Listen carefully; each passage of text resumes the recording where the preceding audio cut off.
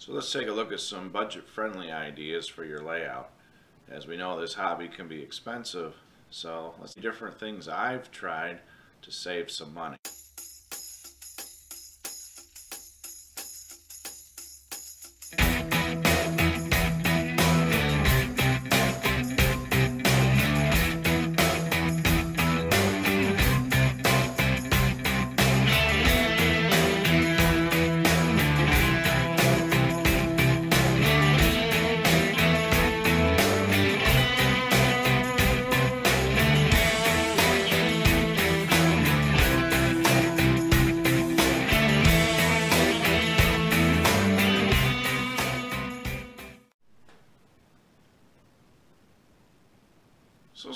These ideas I've picked up by watching YouTube or reading articles, and some of them I just thought up as things went along. But by no means are any of these really original. I'm sure a lot of people out there have tried some of these, and if you're one of them, let me know. How does it work for you? To do a fabric skirt around this entire layout, it would have cost thousands of dollars for a denim or other fabric material. But by using this landscaping fabric, I think it took me three full rolls, which is under a hundred dollars for the entire layout. Can't beat that. Landscape fabric about 12 or 13 dollars for a whole roll. I think it's a 50 foot roll, yeah. It's three foot wide, so it's almost the perfect width to reach from the layout to the floor. I hang the fabric or skirting to the layout using push pins. I just tack them in with a hammer. You could also use small screws or nails. Works great. I'm going to show you how I make my roads. I've tried many different materials, including plaster, or in this case, smooth it. And that's what this street and this cul-de-sac are made out of, is the Woodland Scenic Smooth It product. It's a plaster product. It works very well, but it's a little bit more work compared to what I'm going to show you. In fact, on this bridge, that's a good example of it. Now this bridge is, is actually made out of sheet styrene from Evergreen. But I have an even more economical way of doing roads. Let me show you. Now the Evergreen sheet styrene products are great and I've used a lot of them. Especially when you need thicker plastic sheets or scratch building materials like brick and siding and so on. But a lot of these streets and parking areas that you see here were actually made out of this product. What is this? Well, these are thin sheets of plastic that you can buy almost anywhere. And that's what they are. There are those no trespassing signs or those beware of dogs signs. And this is a three pack. I know you can buy them individually for under a buck. And you get a decent sized sheet of thin plastic. They cut well, they take paint well, and it's just a great economical way to make streets, roads, parking areas, on and on. You can even use them in some kit bashing and scratch building projects. In fact, these grade crossings right here were made by using those signs. Also this dock wall that's in here and also the one that's over by the steel mill that's all made out of those signs.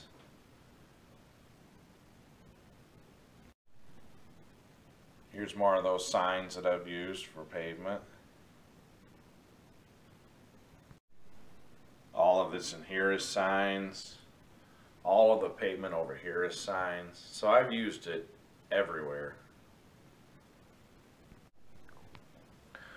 Another product that I've used for roads is this foam material called, this one's called Silly Winks. I think there's a couple different versions of it. I think they come in different thicknesses as well. This particular one is uh, two millimeters thick. So I think they have them thicker than this. But this particular sheet's under a dollar. I think it's 89 cents. This one I think came from Hobby Lobby, but I think I've seen them at other stores like Walmart in the craft section.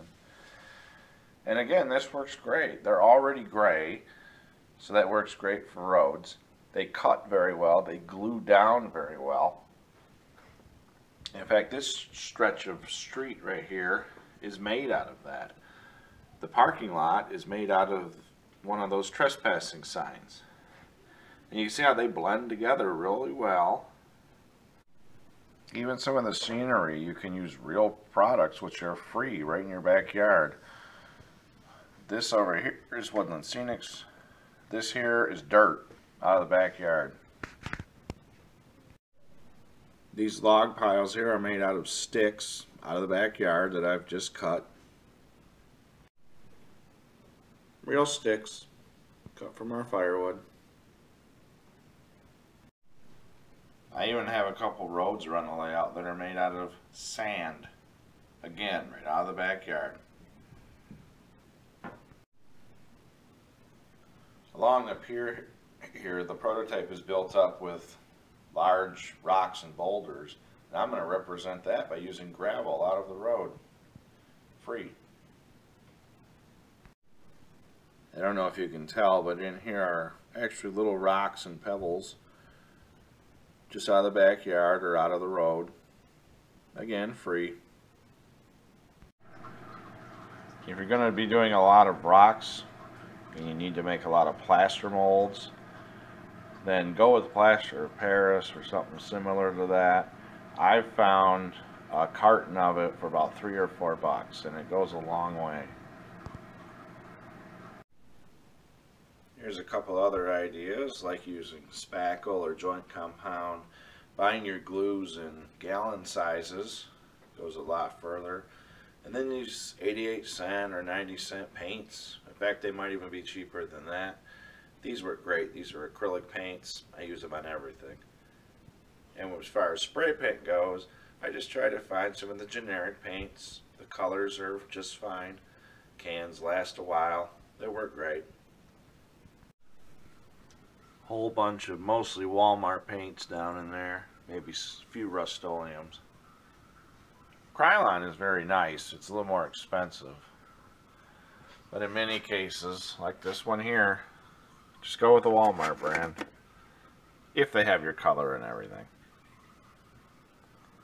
And of course a lot of those apple barrel paints, most of them are a dollar or less.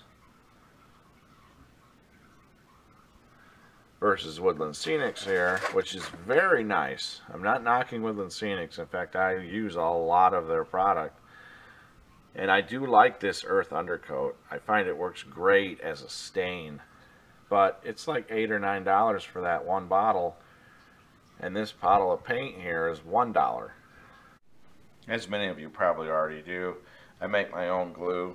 This is about a 50-50 mix of white glue and water, maybe a little drop of dish soap or rubbing alcohol. And then I just put it in one of these bottles, squeeze bottles.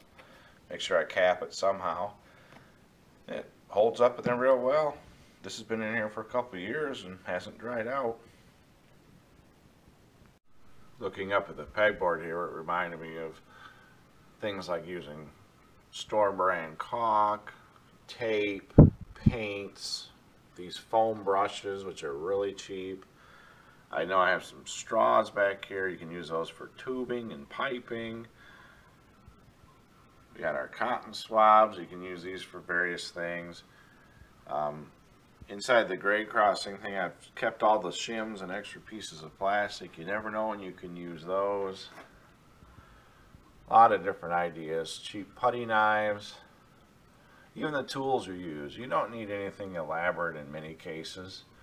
It's like a $10 soldering iron and on and on. Scrap pieces of sandpaper. Lots of ways to save some money. As you may recall, I've done a video in the past where I showed how I make my water. I made a Mackinac Bridge diorama in that video. And I used this Mod Podge, the gloss luster. Don't know if that's focusing on that well or not, but you get the idea. So first you start with just a bare surface, plywood or what have you. You might want to seal your surface with caulk or flex paste. Then you just paint it the color you want. You put three or four layers of the Mod Podge. That's what I find it takes to get a nice shine and to get the ripple effect. Turns out quite quite well. I've used that in many places around the layout. Here's another shot. This little patch here, I actually use an Ultra Gloss Mod Podge. It's a lot more expensive, and it almost looks like the exact same material as the Woodland Scenics Realistic Water product that you just pour out of a bottle. Um, the Woodland Scenics product is very nice, and I have used that as well, just to kind of compare the two. But to, for an economical sake, the Gloss Mod Podge is definitely the way to go. Here's a good comparison. This part of the Shiawassee River here is actually modeled by using the Woodland Scenics product. And then if you swing over here to this part of the river, this is Mod Podge. You can see a little bit of white in it where it hasn't completely dried. Sometimes it can take several months for this stuff to dry completely. That's another little bit back there using the Mod Podge. But you can see there is even a little bit of white in this. So they're very, very similar. There they are side by side. Mod Podge in the corner, Woodland Scenics here. This is kind of the base of the water here. All this is is paint on foam right now. This isn't quite the final color. And then over here you can see where the Mod Podge has got three or four layers and how that looks so much more complete. So this is kind of how it starts and this is how it turns out. As far as the backdrops are concerned, what I'm using right now is this foam board, which you can pick up for about 88 cents a sheet. And they work very well. They cut well, they take paint well. Now in the future I might be changing them out for some plywood or some other material, but for now they work great.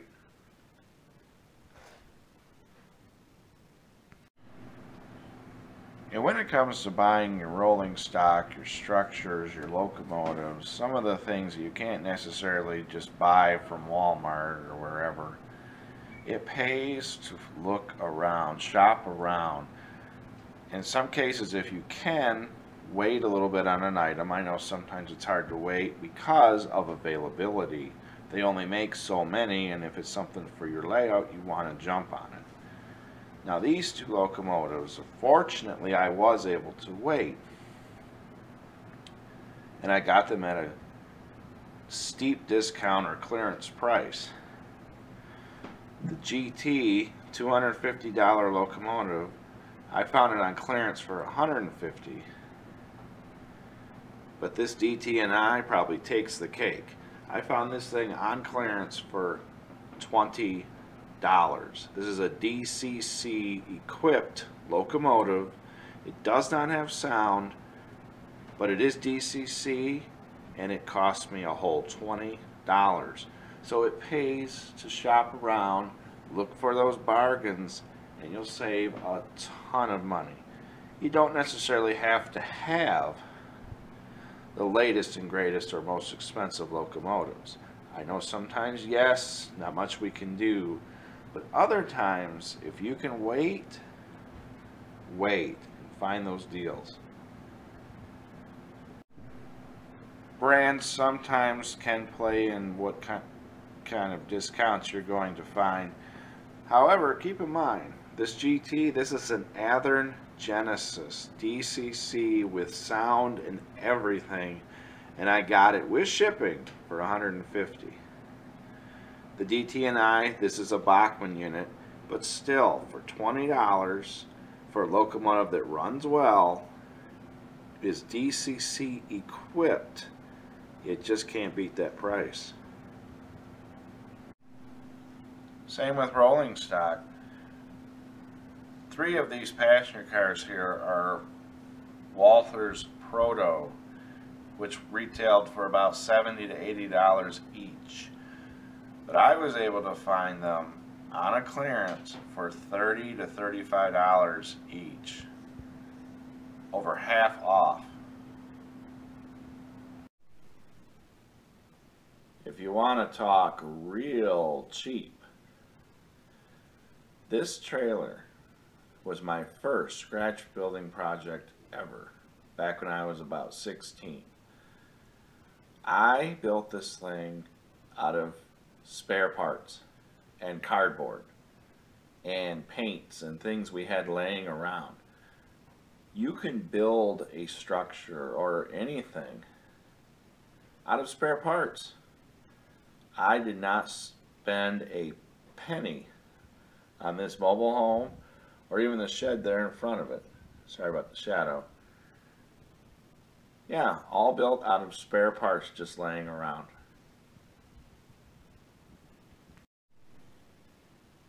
So I'm sure I missed a few things or maybe there's some products or ideas I'll use in the future that I'll be able to share with you on a, another video. If you've used any products that have saved a lot of money, let me know. How, how, how well has it worked? Well, that's going to be about it for now. Now we're approaching Christmas. Everybody be safe out there. Enjoy the holidays. Don't forget to subscribe and comment. Give me those likes. I'll see you next time.